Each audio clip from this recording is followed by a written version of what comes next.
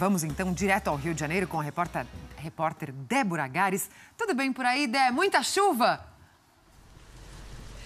Muita, Juliana. Boa tarde para você, para o pós e fãs do esporte. Na verdade, são três dias já de mau tempo aqui no Rio de Janeiro. São Pedro não tem sido generoso durante esse feriado para quem conseguiu folgar, para quem queria viajar, curtir uma praia. Não deu. Mas aqui no Ninho do Urubu, até que a chuva fez sucesso com os jogadores. Alguns aproveitaram as muitas poças de água que foram formadas no gramado aqui do centro de treinamento para se divertir, para brincar e mostrar que o clima no clube é de descontração, apesar do fato de que hoje em dia o rubro-negro está em terceiro lugar na tabela do brasileiro, a sete pontos do líder, numa missão muito mais difícil para tentar conseguir o título do Campeonato Brasileiro. Mas ainda tem gente acreditando por aqui, como é o caso do atacante Leandro Damião, que falou um pouquinho mais cedo em coletiva de imprensa com a gente. Ainda existe essa crença e principalmente a vontade de conseguir se classificar bem nas primeiras posições do Campeonato Brasileiro para Libertadores do ano que vem. O treino hoje foi fechado, quando a gente entrou só pôde ver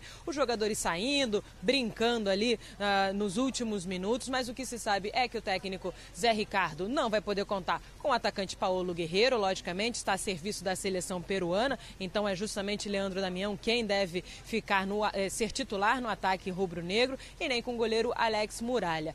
Por outro, além disso, também não vai ter a sua dupla de zaga titular, Rafael Vaz e Hever, que levaram o terceiro cartão amarelo na última partida, desfalcam o time. O técnico deve preferir Juan e Donati para compor o setor defensivo do rubro-negro. Zé Ricardo conta ainda com o retorno do volante Manquejo e do meio atacante Everton, os dois recuperados de lesão, já em condições de treino, devem ser reforços para essa partida de quarta-feira contra o América Mineiro.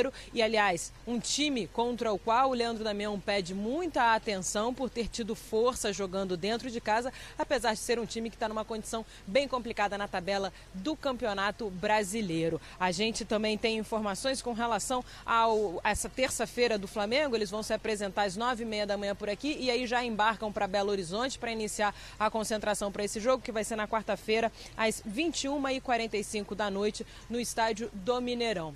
Ju Pose, como o ano vai se aproximando do fim aqui nos bastidores do Flamengo, se fala muito também em renovações de contrato, quem fica e quem sai. O técnico Zé Ricardo já foi confirmado para a temporada de 2017 pelo próprio presidente do clube, Eduardo Bandeira de Melo. E segundo a imprensa peruana, o rubro-negro está interessado no lateral esquerdo da seleção de lá, o Miguel Tranco, que joga pelo Universitário do Peru, é colega do Guerreiro de seleção, não vai enfrentar o Brasil no próximo jogo porque está suspenso, mas seria de interesse do rubro-negro para entrar na vaga de Chiquinho, que deve sair ao término do ano. Paulo Vitor também, existe a possibilidade de que saia o Flamengo atrás de um goleiro, além de um atacante. Muito tem se falado sobre as especulações, as tratativas por Vitinho, que é do CSKA, só que os valores são bem elevados, existem outros interesses até de clubes europeus, então talvez essa negociação seja um pouquinho mais difícil, mas fala-se muito nisso. Leandro Damião